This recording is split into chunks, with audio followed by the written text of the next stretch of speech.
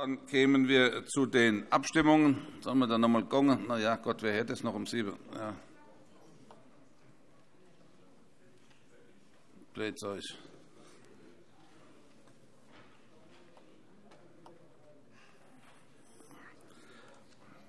Also, dann kommen wir zu den Abstimmungen. Können wir machen? Geschäftsführer stimmen zu, dass wir jetzt abstimmen können. Gut.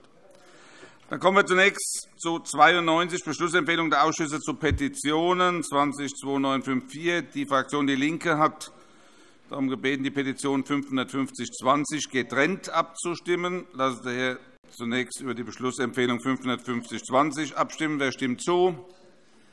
CDU, BÜNDNIS 90 die GRÜNEN, SPD, AfD, FDP. Wer ist dagegen? Die Fraktion DIE LINKE. Damit ist die Beschlussempfehlung so angenommen. Restliche Beschlussempfehlung zu Petitionen. Wer ist dafür? Wer ist dagegen? Keine. Dann ist das einstimmig.